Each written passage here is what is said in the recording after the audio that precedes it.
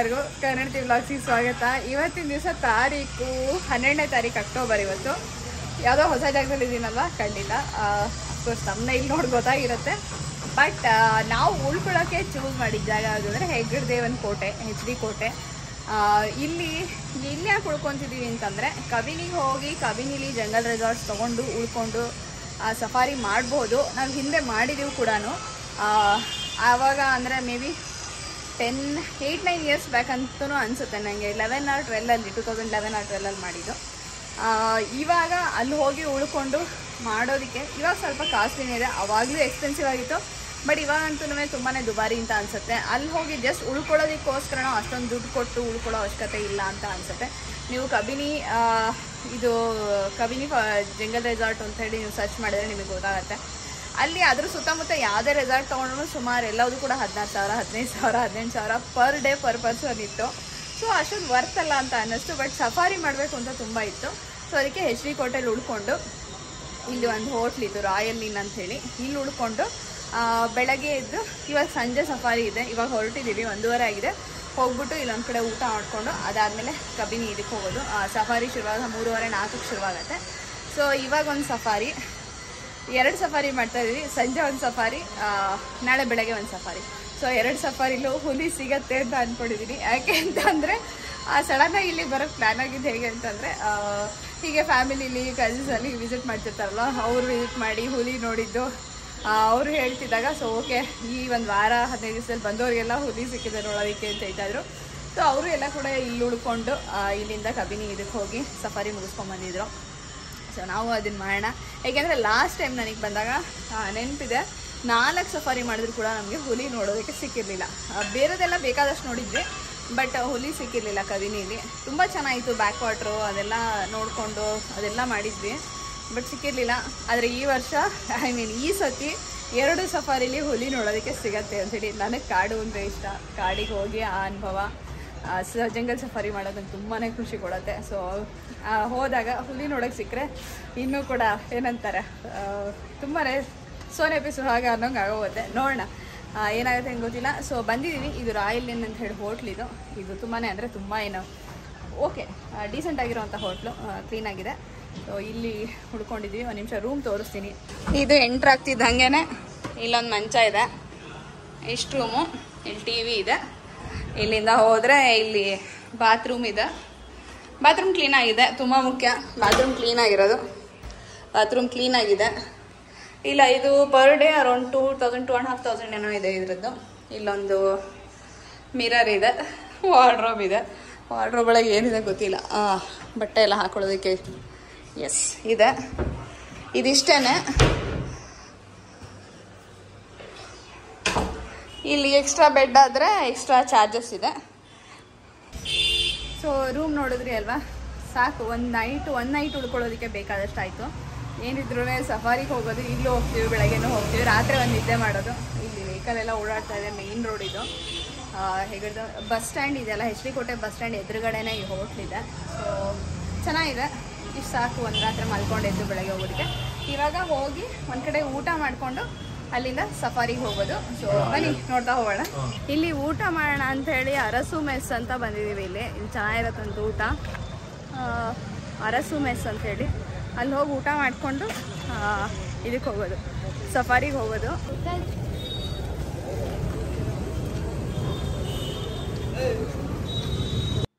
ಎರಡು ಥರ ಊಟ ಇತ್ತು. ಒಂದು ಚಪಾತಿ ಊಟ ಮತ್ತು ಮುದ್ದೆ ಊಟ ಇತ್ತು.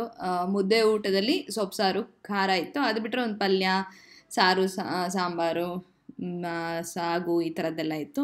ಚೆನ್ನಾಗಿತ್ತು ಊಟ. ಮಧ್ಯಾಹ್ನದ ಊಟ ಫ್ರೆಶ್ ಆಗಿತ್ತು. ರಾತ್ರಿ ಇದನ್ನೇ ಅವ್ರು ರಿಪೀಟ್ ಮಾಡಿದ್ರು. ರಾತ್ರಿ ಏನು ಅಷ್ಟು ಇಷ್ಟ ಇರಲಿಲ್ಲ ನನಗೆ ಮಧ್ಯಾಹ್ನ ಚೆನ್ನಾಗಿತ್ತು.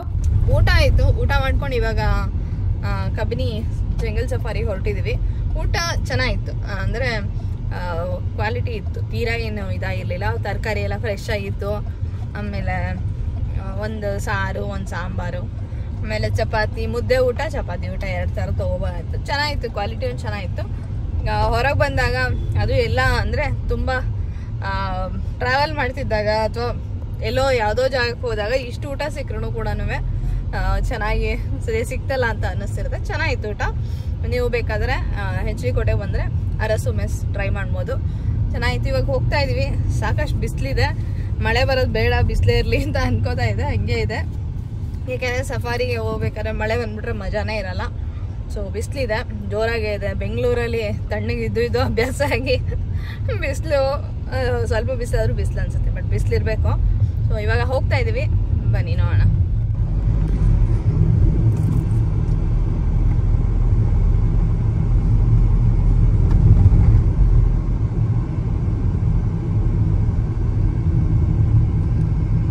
ಇಲ್ಲಿ ಕಾಕನಕೋಟೆ ಸಫಾರಿ ಕೇಂದ್ರ ಇಲ್ಲಿಗೆ ಬಂದಾಯಿತು ಕಬಿನಿ.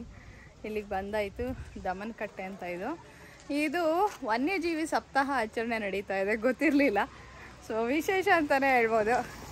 ಯಾವುದೋ ಒಂದು ಊರಲ್ಲಿ ಜಾತ್ರೆ, ಹಬ್ಬ ಟೈಮಲ್ಲಿ ಆ ಊರಿಗೆ ಹೋಗ್ತೀವಲ್ಲ, ಆ ಥರ ವನ್ಯಜೀವಿ ಸಪ್ತಾಹ ಆಚರಣೆ ದಿವಸ ಅಂದರೆ ನಡೀತಿರೋ ಟೈಮಲ್ಲಿ ಸಫಾರಿಗೆ ಜಂಗಲ್ ಸಫಾರಿಗೆ ಬಂದಿರೋದು.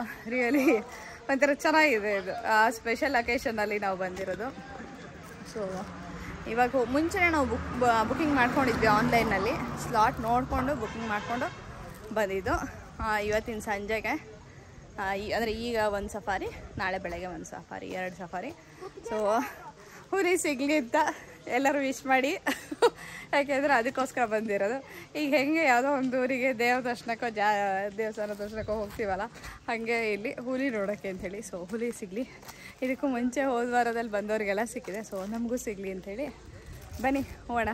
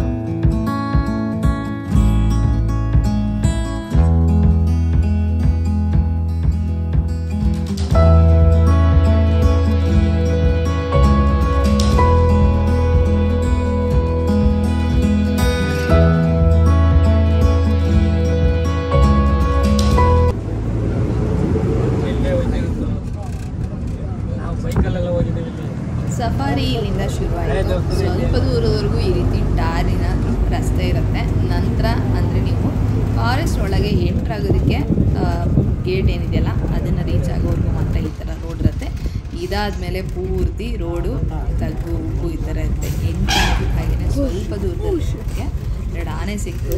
ಸಖತ್ತಾಗಿ ಅಂದರೆ ಏನಂತಾರೆ ತುಂಬಾ ಹತ್ತಿರದಲ್ಲಿ ಕಾಣಿಸ್ತಿತ್ತು. ಹಾಗೆಯೇ ತುಂಬ ಚಾರ್ಜ್ ಆಗಿತ್ತು.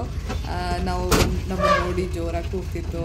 ನಿಮಗೂ ಕೂಡ ಇವಾಗ ಕೇಳಿಸುತ್ತೆ ವಾಯ್ಸ್ ಅಂತ ಅನ್ಕೊಂಡಿದ್ದೀನಿ ಬಟ್ ಬ್ಯೂಟಿಫುಲ್ಲಾಗಿ ಕಾಣಿಸ್ತಿತ್ತು. ನೀವು ನೋಡಿ.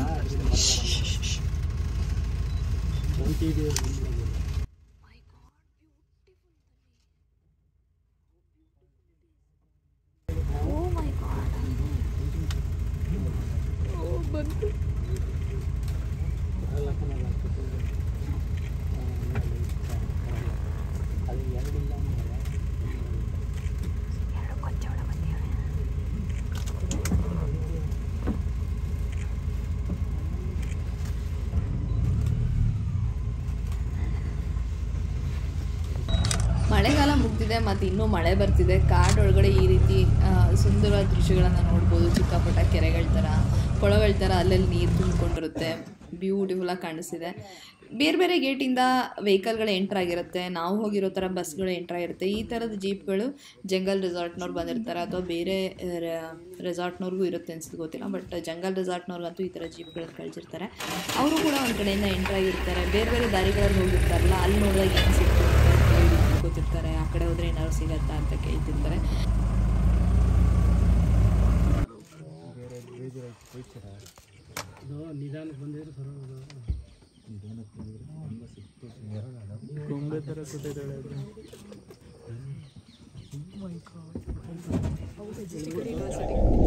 ಫಿಫ್ತ್ ಟೈಮು ಲಕ್ಕಿ ಆಯಿತು ಅಂತ ಹೇಳ್ಬೋದು. ಇದು ನಾವು ನಾಲ್ಕು ಸಫಾರಿ ಹೋಗಿದ್ವಿ. ತುಂಬ ವರ್ಷಗಳ ಹಿಂದೆ, ಒಂದು ಎಂಟೊಂಬತ್ತು ವರ್ಷದ ಹಿಂದೆನೇ ಇರ್ಬೋದು. ನಾಲ್ಕು ಸಫಾರಿ ಮಾಡಿದ್ರು ಕೂಡ ಒಂದು ಸತಿನೂ ನಮಗೆ ಹುಲಿ ನೋಡೋದಕ್ಕೆ ಸಿಕ್ಕಿರಲಿಲ್ಲ.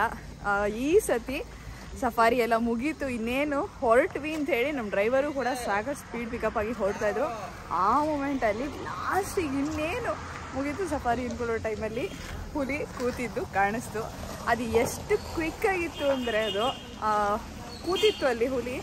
ನಾವು ಅಲ್ಲಿ ಕೂತಿರೋದನ್ನ ನೋಡಿ ಅದನ್ನ ಅದ್ರ ಸೌಂದರ್ಯ ನೋಡಿ ಎಂಜಾಯ್ ಮಾಡಿ, ವಾವ್ ಅಂತ ಅನ್ ಅಂದ್ಕೊಂಡು ಕ್ಯಾಮ್ರಾ ಆನ್ ಮಾಡೋ ಅಷ್ಟರಲ್ಲಿ ಇಳ್ಕೊಂಡು ಹೊಟ್ಟೋಯ್ತದು ಅದು ಇನ್ನೊಂದು ಏನಾಯಿತು ಅಂದರೆ, ತಕ್ಷಣ ನಮಗೂ ಅಲ್ಲಿ ಹುಲಿ ಕೂತಿರೋದು ಕಾಣಿಸಿ ಬ್ರೇಕ್ ಜೋರಾಗಿ ಹಾಕಿದ್ರು. ಮೋಸ್ಟ್ಲಿ ಆ ಇದಕ್ಕೆ ಡಿಸ್ಟರ್ಬ್ ಆಯಿತು ಅನ್ನೋ ಗೊತ್ತಿಲ್ಲ. ಆ್ಯಂಡ್ ಎಲ್ಲರೂ ಎಕ್ಸೈಟ್ ಆಗೋದ್ರು. ಫುಲ್ ಸಫಾರಿ ತುಂಬಾ ಅಂದರೆ ಎಲ್ಲ ಫಸ್ಟ್ ಫಸ್ಟ್ ನೋಡ್ಕೊಂಡು ಹೋದ್ವಿ, ಖುಷಿಯಾಗಿ ಬಟ್ ಹಾಕಿ ಹೋಗ್ತಾ ಹೋಗ್ತಾ ಸಿಗ್ತಿಲ್ಲ ಅನ್ನೋದು ಒಂದು ಇರುತ್ತಲ್ಲ, ಬೇಜಾರಾಗಿ ಎಲ್ಲರೂ ಸುಮಾರು ಜನ ಮಲ್ಕೋತಾ ಇದ್ರು, ಸುಮಾರು ಜನ ಬೇಜಾರಾಗಿದ್ರು, ಯಾರಿಗೂ ಕೂಡ. ಅಂದರೆ ಸುತ್ತಮುತ್ತ ಹುಡುಕಿ ಹುಲಿ ಇರ್ಬೋದಾ ಅಂತ ನೋಡೋ ಅಷ್ಟು ಉತ್ಸಾಹ ಯಾರಿಗೂ ಇರಲಿಲ್ಲ. ಕೊನೆಗೆ ಇನ್ನೇನು ಮುಗೀತು ಅನ್ಬೇಕಾರೆ ಒಂಥರ ಕ್ಲೈಮ್ಯಾಕ್ಸ್ ಆದಂಗೆ ಆಗೋಯ್ತು. ಕಾಂತಾರದ ಕ್ಲೈಮ್ಯಾಕ್ಸ್ ಥರನೇ ಆಯಿತು ಅಂತ ಹೇಳ್ಬೋದು. ಸಕ್ಕದಾಗಿತ್ತು ಅದ್ರ ಕಣ್ಣಲ್ಲಿ, ಕ್ಯಾಮ್ರಾದಲ್ಲಿ ಅಷ್ಟೊಂದು ಕ್ಯಾಪ್ಚರ್ ಆಗಿಲ್ಲ. ಆದರೆ ಕಣ್ಣಲ್ಲಿ ಮಾತ್ರ ಅದು ಕೂತಿದ್ದು ಮೆಜೆಸ್ಟಿಕ್ಕಾಗಿ ಕೂತಿದ್ದು ಸಾಕಷ್ಟು ಗಾತ್ರವಾಗಿದ್ದೆ ಹುಲಿ ಅದು. ತುಂಬಾ ದೈ ಧೈರ್ಯವಾಗಿತ್ತು ಬಟ್ ಬ್ಯೂಟಿಫುಲ್ ಆಗಿತ್ತು. ನಿಮಗೂ ಕೂಡ ಅದ್ರದ್ದು ಚೂರು ನೋಡಿದ್ದೀರಾ ಇವಾಗ ಎಲ್ಲ ಕ್ಲಿಪ್ಪಿಂಗ್ಸು ಅಥವಾ ಇದಾದಮೇಲೆ ಬಂದಿರತ್ತೆ. ಆದರೆ ತುಂಬ ಕರೆಕ್ಟಾಗಿ ಪ್ರಾಪರಾಗಿ ತೆಗಿಯೋಕ್ಕಾಗಲಿಲ್ಲ ಬಟ್ ಕಣ್ಣಲ್ಲಿ ಆ ದೃಶ್ಯ ಕ್ಯಾಪ್ಚರ್ ಆಗಿದೆ. ಸೊ ಫಿಫ್ತ್ ಟೈಮು ನಮಗೆ ಲಕ್ಕಿ ಆಯಿತು ಅಂತ ಹೇಳ್ಬೋದು. ಸೊ ಹ್ಯಾಪಿ ಎಲ್ಲರೂ ತುಂಬ ಅದನ್ನು ಚೆನ್ನಾಗಿ ನೋಡಿದ್ರು. ಬಟ್ ತುಂಬ ಜನ ಕ್ಯಾಮ್ರಾದಲ್ಲಿ ಆಗಲಿಲ್ಲ ಕ್ಯಾಪ್ಚರ್ ಅದು. ಓಕೆ ಮಾರ್ನಿಂಗ್ ನೆನ್ನೆ ಅಲ್ಲಿ ಸಂಜೆ ಸಫಾರಿ ಮುಗಿಸ್ಕೊಂಡು ವಾಪಸ್ ಬಂದಮೇಲೆ ರೂಮಿಗೆ ಬರೋತ್ತಿಗೆ ಸ್ವಲ್ಪ ಆಗಿತ್ತು. ಆರು, ಮುಕ್ಕಾಲು, ಆರೂವರೆ, ಏಳು ಗಂಟೆನೇ ಆಗಿತ್ತು ಅನಿಸುತ್ತೆ. ಅದಾದಮೇಲೆ ಹೋಗಿ ಊಟ ಮಾಡಿಕೊಂಡು ಬಂದು ಈಗ ಮಲಗಿದ್ದು. ಯಾಕಂದರೆ ಬೆಳಗ್ಗೆ ನಾಲ್ಕು ಗಂಟೆಗೆ ಹೇಳ್ಬೇಕಾಗಿತ್ತು ಹಾಗಾಗಿ ಬೇಗ ಎದ್ಬಿಟ್ಟು ಹೊರಡ್ಬೇಕು ಅಂತೇಳಿ ಬೇಗ ಊಟ ಮಾಡ್ಕೊಂಡು ಮಲಗಿದ್ವಿ. ಬಟ್ ಹೋಟೆಲ್ ಬೆಡ್ಗಳು ಗೊತ್ತಲ್ಲ, ತುಂಬ ಸಾಫ್ಟಾಗಿ ಆ ಸ್ಪ್ರಿಂಗ್ ಆ್ಯಕ್ಷನ್ ಎಷ್ಟಿರುತ್ತೆ ಅಂದರೆ ಮೈ ಕೈ ಎಲ್ಲ ನೋವು ಬಂದ್ಬಿಡುತ್ತೆ. ನಿದ್ದೆ ಸರಿಯಾಗಿ ಬರಲಿಲ್ಲ. ಸೊ ಏನು, ಬೆಳಗ್ಗೆ ಎದ್ದು ಸಫಾರಿಗೆ ಹೋಗಬೇಕು ಅನ್ನೋದೊಂದು ತಲೆಯಲ್ಲಿ ನಾಲ್ಕು ಗಂಟೆಗೆ ಎದ್ದು ಸೊ ರೆಡಿಯಾಗಿ ಹೊರಟಿದ್ದೀವಿ ಇವಾಗ ಐದು ಮುಖಾಲಾಗಿದೆ ಆರೂವರೆಯಿಂದ ಸಫಾರಿ ಸ್ಟಾರ್ಟ್ ಆಗುತ್ತೆ. ಬಟ್ ಹೋಗ್ತಾ ಎಲ್ಲರೂ ಸ್ವಲ್ಪ ಕಾಫಿ ಏನಾದ್ರು ಸಿಕ್ಕರೆ ಕುಡಿದು, ಇಲ್ಲೆಲ್ಲ ಕಾಫಿ ತುಂಬಾ ಕಷ್ಟ ಸಿಗೋದು. ಬ್ರೂ ಕಾಫಿನೋ ನೆಸ್ಕೆಫೆ ಆ ಥರದ್ದು ಸಿಗುತ್ತಷ್ಟೇ ಈ ಫಿಲ್ಟರ್ ಕಾಫಿ ಎಲ್ಲ ಎಕ್ಸ್ಪೆಕ್ಟೇ ಮಾಡೋಕ್ಕಲ್ಲ ಟೀ ನಮಗೆ ಆಗಲ್ಲ, ಬೆಳಗ್ಗೆ ಅಂತ ಇಷ್ಟ. ಸೊ ರೆಡಿಯಾಗಿ ಹೊರಟಿದ್ದೀವಿ ಹೋಗ್ಬಿಟ್ಟು ಸಫಾರಿ ನೋಡಿಕೊಂಡು ವಾಪಸ್ ಬೆಂಗಳೂರಿಗೆ. ಬಟ್ ಈಗ ಹೋಗಿ ಅಲ್ಲಿ ಸಫಾರಿ ಇದು ಮಾಡಿ ಅಂದರೆ ಅಲ್ಲಿ ಕ್ಯಾಮ್ರಾಗೆ ಇದಕ್ಕೆಲ್ಲ ಇರುತ್ತೆ ಪೇ ಮಾಡೋದು. ಅದು ಮಾಡಿ ಬಸ್ಸಲ್ಲಿ ಕೂತ್ಕೊಂಡು ಹೊರಡೋದು.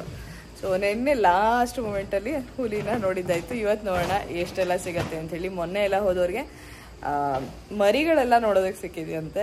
ನೋಡೋಣ, ನಮ್ಮ ಅದೃಷ್ಟ ಹೇಗಿದೆ ಅಂತೇಳಿ ದರ್ಶನ ಕೊಡತ್ತಾ ಇಲ್ವಾ ಅಂತ ಬಟ್ ಕೊಡ್ಲಿ ಅಂತಾನೆ ಅನ್ಕೊಂಡು ಹೋಗ್ತಿರೋದು. ನೋಡೋಣ ಬನ್ನಿ.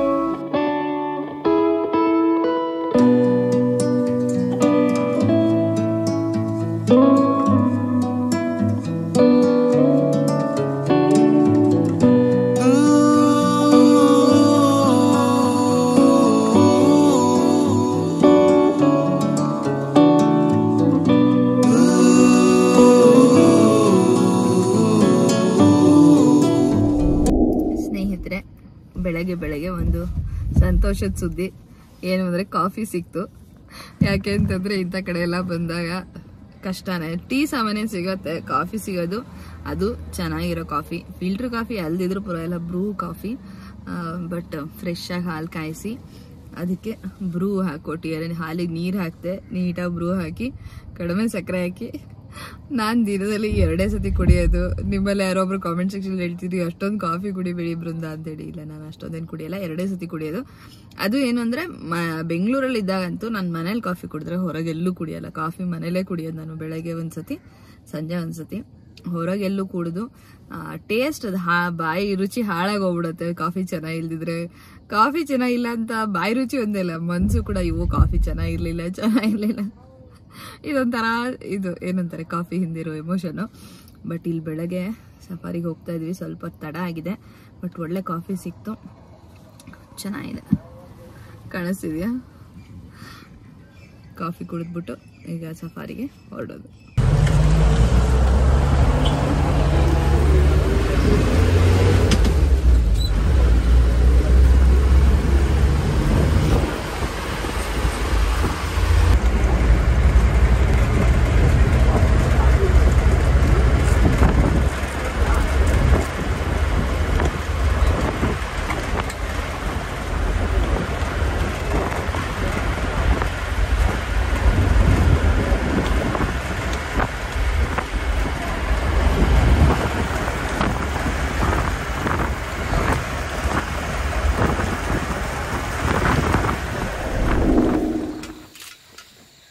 ಕಾಡಿನಲ್ಲಿ ಯಥೇಚ್ಛವಾಗಿ ನೋಡೋಕ್ಕೆ ಸಿಗೋದು ವೈಲ್ಡ್ ಡಾಗ್ಸು, ಕಾಡು ನಾಯಿಗಳು ಮತ್ತು ಜಿಂಕೆಗಳು. ಸ್ಪಾಟೆಡ್ ಡಿಯರು ಆಮೇಲೆ ಕಡವೆ ಇದೆಲ್ಲ ಸಿಗತ್ತೆ. ನಾಯಿ, ವೈಲ್ಡ್ ಡಾಗ್ಸ್ ಅಂತೂ ಹೋದ ತಕ್ಷಣ ದರ್ಶನ ಕೊಡುತ್ತೆ. ಮುಂದಕ್ಕೆ ಹೋಗ್ತಿದ್ರು ಸಿಗತ್ತೆ. ಈ ರೀತಿಯಾಗಿ ಎಲ್ಲಿ ಹೋದರೂ ಕೊನೆಗೆ ಬೇಜಾರಾಗಿ ಹೋಗುತ್ತೆ ಬರೀ ಇದನ್ನೇ ನೋಡೋದಾಯ್ತಾ ಅಂಥೇಳಿ ಮತ್ತೆ ಇಲ್ಲಿ ಇನ್ಫಾರ್ಮೇಷನ್ ಎಕ್ಸ್ಚೇಂಜ್ ಆಗ್ತಿದೆ. ನೀವು ಹೋಗಿದ ಕಡೆ ಏನು ನೋಡಿದ್ರಿ, ಏನಿತ್ತು ಅಂಥೇಳಿ ಸೊ ಅದನ್ನು ತಿಳ್ಕೊಂಡು ಆಯಾ ರೂಟಿಗೆ ಹೋಗಿ ನೋಡೋದು. ಹುಲಿ ಸಿಕ್ಕರೆ, ಸಿಗೋ ಅಂದರೆ ಹುಲಿ ನೋಡೋದಕ್ಕೆ ಪ್ರಯತ್ನ ನಿರಂತರವಾಗಿ ನಡೆಯುತ್ತೆ ಮೂರು ಗಂಟೆಗಳ ಕಾಲ. ಬೇಕಾದಷ್ಟು ಬೈಸನ್ ನೋಡಿದ್ವಿ. ನಾನು ನಿಮಗೂ ಕೂಡ ತೋರಿಸ್ತೀನಿ. ಜಿಂಕೆಗಳಂತೂ ಯಥೇಚ್ಛವಾಗಿ ಸಿಗ್ತಿರುತ್ತೆ ನೋಡಿ ಜಿಂಕೆಗಳು ಮತ್ತು ಬಂತು. ಹಿಂದಿನ ದಿವಸದಲ್ಲೂ ಕೂಡ ಸಾಕಷ್ಟು ಜಿಂಕೆಗಳನ್ನ ನೋಡಿದ್ವಿ, ಬಟ್ ನಾನು ಆ ವಿಡಿಯೋ ಕ್ಲಿಪ್ಗಳನ್ನ ನಾನು ಸೇರಿಸಿಲ್ಲ ಮಾನ್ಯ ದಿವಸ ನಾವು ನೋಡಿದಾಗ ತುಂಬಾ ಚೆನ್ನಾಗಿತ್ತು. ತುಂಬ ತುಂಬ ಸಂಖ್ಯೆಯಲ್ಲಿತ್ತು. ತುಂಬಾ ಇದಾಗಿ ಕಾಣಿಸ್ತಿತ್ತು. ಚೆನ್ನಾಗಿತ್ತು.